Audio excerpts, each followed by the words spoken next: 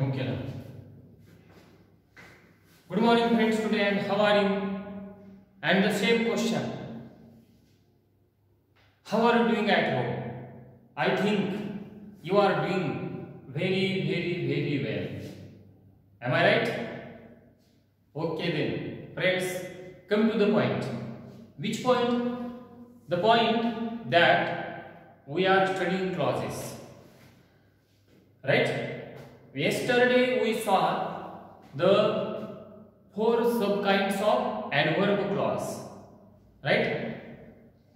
Which were those four subkinds? The first one, adverb clause of time. This type of clause is introduced with the conjunctions such as when, whenever, till, until, before, after, since, as soon as, and as. Then we saw the second type of adverb clause and that was adverb clause of place. Adverb clause of place is introduced with the conjunctions only two. Which are those two? Where and wherever. Where and wherever. Then number three, we saw adverb clause of condition. This clause is introduced with the conjunctions such as if, unless, whether, in case, provided. Right? Then we saw number 4. And what was the name of that clause? Number 4, adverb clause of reason.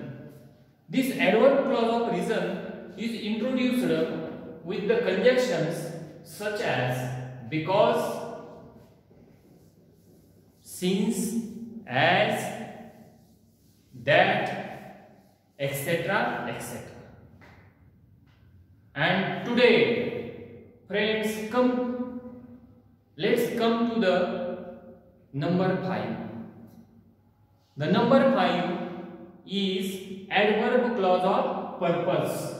Yes, I have written on the whiteboard. Yes. Adverb clause of purpose is introduced with the conjunctions such as which I have written on the board such as so that that in order that etc sorry. Now let's explain in marathi friends okay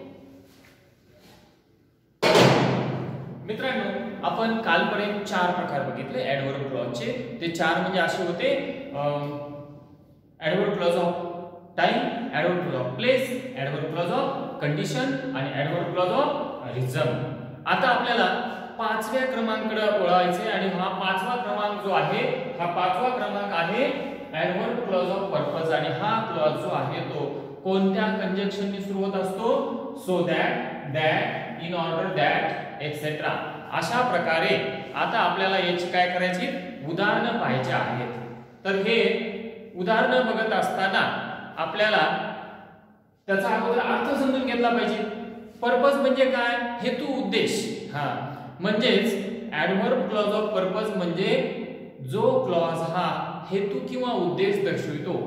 हेतू किंवा उद्देश दर्शविणाऱ्या उपवाक्याला किंवा क्लॉजला adverb clause of purpose असे म्हणतात. Adverb clause of purpose तर हा ऍडव्हर्ब क्लॉज ऑफ पर्पज जो आहे तो so that in order that किंवा दॅट अशा प्रकारच्या कंजेक्शननी सुरू झालेला असतो. तर बघा त्याचे उदाहरण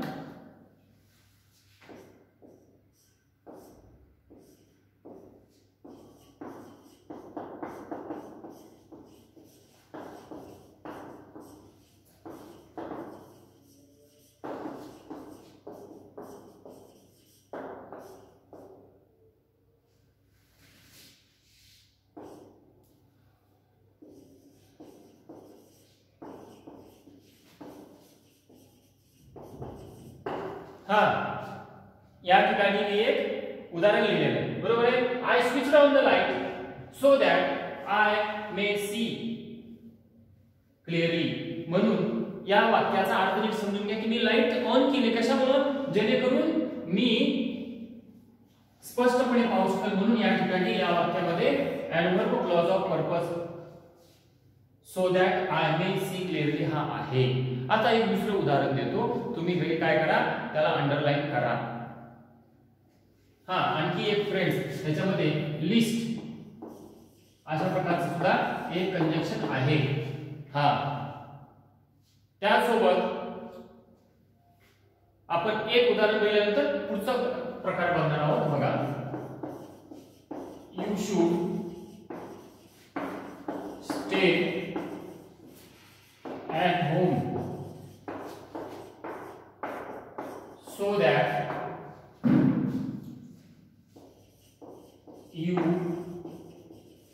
may be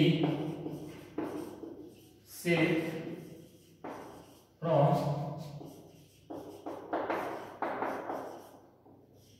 COVID nineteen याला अंडरलाईन करा घरच्या घरी. हम्म? आणि नाही आले तर मला विचारा. तर अशा प्रकारे एक वाक्य लिहून झालं. आता आपण पुढचा प्रकार बघणार आहोत. बरोबर आहे? आता पुढचा प्रकार कोणता आहे ते बघा. आपण पाचवा प्रकार बघितलेला आहे ऍडवर्ब क्लॉज ऑफ पर्पज आता याच्यानंतर आपल्याला बघायचं आहे. Adverb clause of manner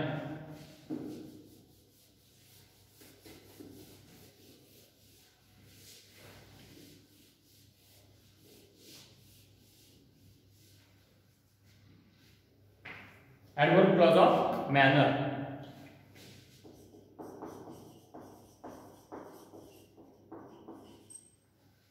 आता मला सांगा मॅनर म्हणजे काय? मॅनर म्हणजे मॅनर म्हणजे रीत किंवा पद्धत. म्हणजेच जो क्लॉज हा काय करत असतो? एखादी क्रिया कशी घडली त्याची रीत किंवा पद्धत दर्शवित असतो त्या क्लॉजला ऍडवर्ब क्लॉज ऑफ मॅनर असे म्हणतात. आणि या क्लॉजची जी सुरुवात आहे ती कशाने होत असते ते बघा. ऍज इट ऍज आणि. As दो सॉरी अशा प्रकारे ऍडवर्ब क्लॉज ऑफ पर्पस जे आहे ती ऍज इफ ऍज दो किंवा फक्त ऍज या कंजेक्शनने होत असते. तर आता त्याचं एक उदाहरण बघू आपण बघू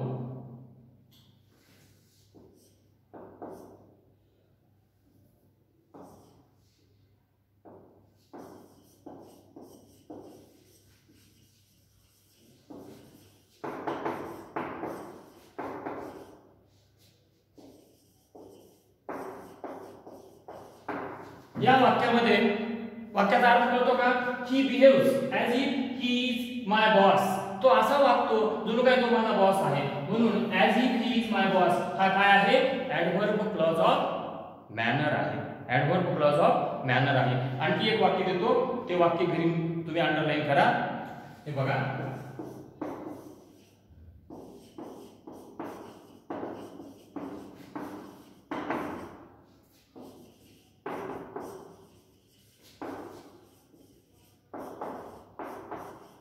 या वाक्यामध्ये काय करायचे अंडरलाईन करायची आहे अंडरलाईन आता हा झाला सहावा प्रकार. Adverb clause of manner manner म्हणजे रीत किंवा पद्धत. याची सुरुवात होते ऍज इफ ऍज दो किंवा फक्त ऍज मे या ठिकाणी एक वाक्य बघितलं आपण. हे behaves as he is my boss या वाक्याचं as he is my boss हे जे क्लॉज होता हा काय करतो? रीत किंवा पद्धत दर्शवितो. म्हणून हा ऍडवर्ब क्लॉज ऑफ मॅनर आहे. आता त्याच्या पुढे आपल्याला पुढचा एक प्रकार बघायचा आहे. आणि हा पुढचा प्रकार सातव्या क्रमांकाचा प्रकार जो आहे तो adverb clause of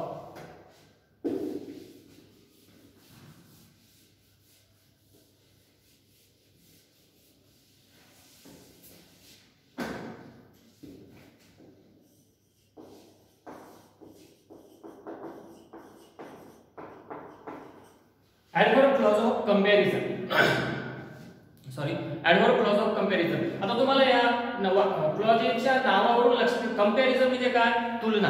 बरोबर आहे? म्हणजेच तुलना दर्शवणारा जो क्लॉज असतो तो असतो ऍडव्हर्ब क्लॉज ऑफ कंपॅरिझन आणि या क्लॉजची जी सुरुवात आहे किंवा या क्लॉजमध्ये येणारे जे कंजेक्शन आहे ते कंजेक्शन असं असतात. बघा. दॅन त्याच्यानंतर ॲज ॲज त्यासोबत सो ॲज इत्यादी प्रकारचे याच्यात कंजक्शन असतात. नीट लक्षात ठेवा. हा आहे adverb clause of comparison comparison म्हणजे तुलना. तुलना दर्शवणारा जो क्लॉज असतो तो असतो ऍडव्हर्ब क्लॉज ऑफ कंपॅरिझन आणि याची सुरुवात होते than as dash dash as किंवा सो डॅश डॅश ॲज याचं आपण उदाहरण बघूया. आता याची उदाहरणं बघायला. याचे जे उदाहरण आहे आपले जे डिग्रीचे वाक्य असतात ना डिग्रीचे हे सर्व डिग्रीचे जे वाक्य असतात हे सर्व डिग्रीचे वाक्य हे ऍडव्हर्ब क्लॉज ऑफ कम्पॅरिझनचे असतात. बघा आता एक उदाहरण सांगतो.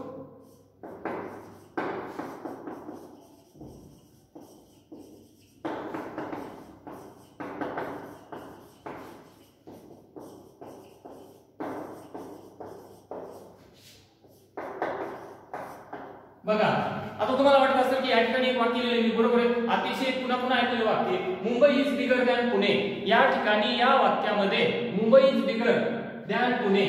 या वाक्यामध्ये इथून पुढे जे आहे दॅनपासून पुढे. बघा तुम्हाला वाटत असेल की याच्यामध्ये क्लॉज म्हणता येण्याची कर्ता व क्रियापद यांची आवश्यक असेल. बरोबर आहे का नाही? बरोबर आहे. सॉरी याच्यामध्ये कर्ता आहे पुणे आणि याच्यात क्रियापद बी असतं. पण आपण ते लिहित नसतो. इज हे क्रियापद आहे त्याच्या पुढे म्हणून त्यांपासून पुढचा जो क्लॉज आहे हा क्लॉज आहे adverb clause of comparison adverb clause of comparison कळत आता आपल्याला घरी करायला एक वाक्य देतो. तेवढं तुम्ही घरी उतरून आणा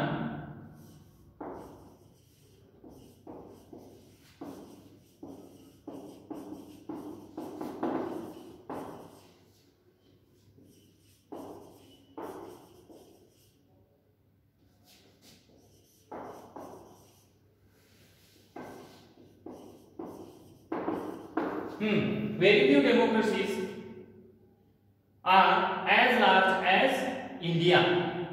हे वाक्य काय करायचं तुम्ही घरी अंडरलाईन करायचंय आणि याच्यातला ऍडव्हर्ब क्लॉज ऑफ कंपॅरिझन कुठून कुठपर्यंत आहे हे आपल्याला अंडरलाईन करून सांगायचंय. त्याच्या पुढे आपल्याला आता बघायचा आहे आठवा प्रकार. हा जो आठवा प्रकार आहे हा आठवा प्रकार कुठला आहे? Adverb clause of contrast adverb clause of contrast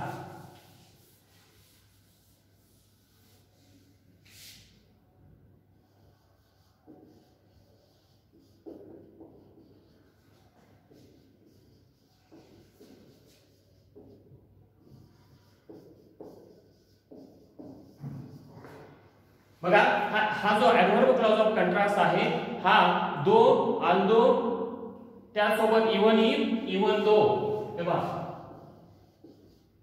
even if किंवा इवन दो या कंजक्शननी सुरू झालेला असतो. आता इथे तुम्हाला मी उदाहरण देतो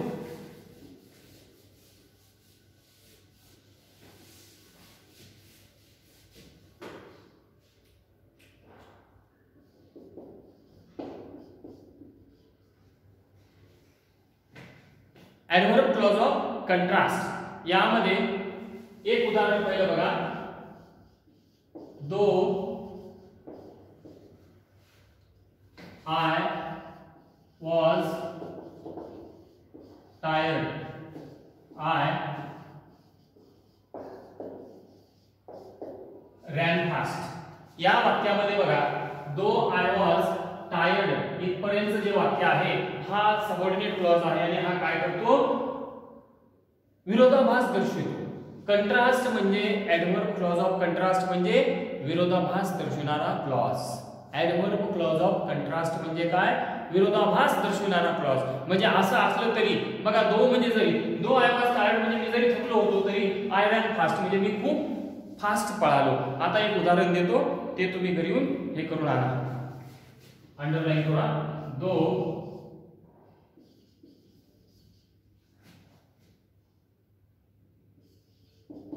he is poor.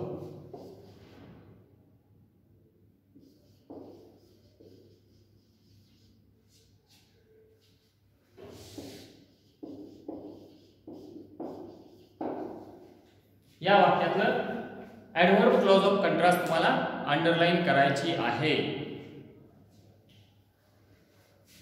किंवा आणखी एक वाक्य देतो.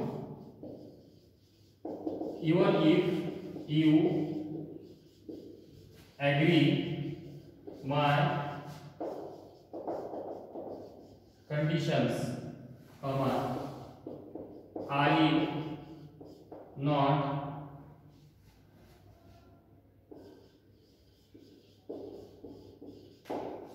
okay आता आपल्याला याच्या पुढचा आणि शेवटचा प्रकार बघायचा आहे. तो म्हणजे adverb clause of result adverb clause of result हा. तर बघा नऊ नंबरचा प्रकार. नंबर नऊ.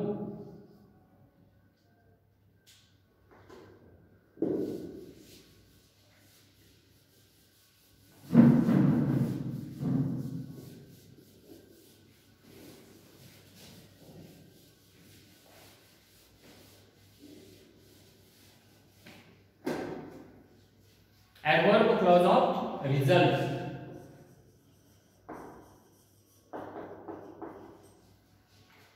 आता रिझल्ट म्हणजे काय लक्षात आलं असेल तुमच्या? रिझल्ट म्हणजे परिणाम. आपण नाही का दरवर्षी एक मेला रिझल्ट घेत असतो आपला. आता यावर्षी नाही घेणार आपण. बरोबर आहे ना? तरी सुद्धा आपल्याला ऍडव्हर्ब क्लॉज ऑफ रिझल्ट शिकायचा आहे. रिझल्ट म्हणजे परिणाम. परिणाम दर्शवणाऱ्या उपवाक्याला ऍडव्हर्ब क्लॉज ऑफ रिझल्ट असे म्हणतात. आणि यामध्ये काय माहितीये का? एकतर सो दॅट आलेलं असतं. परंतु या ठिकाणी कसं स्ट्रक्चर आलेलं असतं बघा. So plus adjective plus that म्हणजे या वाक्यात सो दॅट असतं. आता याच्या अगोदर आपण एक क्लॉज बघितला. Adverb clause of purpose adverb clause of पर्पजमध्ये काय माहितीये का? सो आणि दॅटच्या मध्ये ऍडजेक्टिव्ह आलेलं नाही. या ठिकाणी सो आणि दॅटच्या मध्ये एक ऍडजेक्टिव्ह येतं. म्हणून या दोन्हीमधला जो मुख्य फरक आहे तो लक्षात ठेवा. कधी कधी कन्फ्युजन होतं की ऍडवर्ब क्लॉज ऑफ पर्पज आणि ऍडवर्ब क्लॉज ऑफ रिझल्ट या दोन्हीमध्ये बी सो दॅट येतं. मग दोन्ही फरक काय? तर फरक असा आहे ऍडवर्ब क्लॉज ऑफ पर्पजमध्ये सो दॅटच्या मध्ये ऍडजेक्टिव्ह येत नाही किंवा सो दॅट एकाला एक लागून येतं. आणि ऍडवर्ब क्लॉज ऑफ रिझल्टमध्ये सो आणि दॅटच्या मध्ये ऍडजेक्टिव्ह आलेलं असतं. उदाहरणामध्ये बघा. एक वाक्य तुम्हाला मी सांगतोय तेव्हा was so small that I could not climb a tree. या वाक्यात लक्षात आलं की परिणाम दर्शवणारं उपवाक्य. कोणतं उपवाक्य परिणाम दर्शविते नाही बघा? I was so small that I could not climb a tree काय झालं? की स्मॉल असण्याचा जो परिणाम झाला I could not climb a tree म्हणजे हा जो क्लॉज आहे तो परिणाम दर्शवितो. म्हणून हा ऍडव्हर्ब क्लॉज ऑफ रिझल्ट आहे. ओके गॉट इट नक्की? तर बघा याच्यानंतर आणखी एक वाक्य देतो. तुम्हाला अंडरलाईन करायला देतो. आणि हा जो ऍडव्हर्ब क्लॉज आहे तो ऍडव्हर्ब क्लॉज ऑफ आपण जवळपास संपवण्याच्या बेतात आलेलो आहोत. बघा तुम्हाला वेळी करायला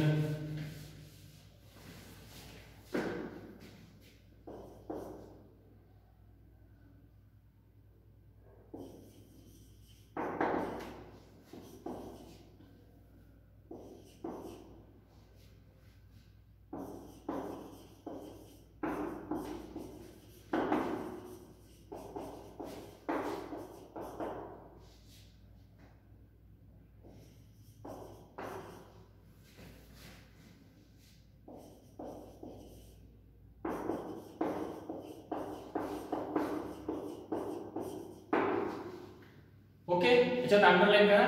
आणखी एक वाक्य देतो घरी करायला कारण की हा शेवटचा प्रकार आहे. आणि म्हणून तुम्हाला एक वाक्य जास्तीच देतो.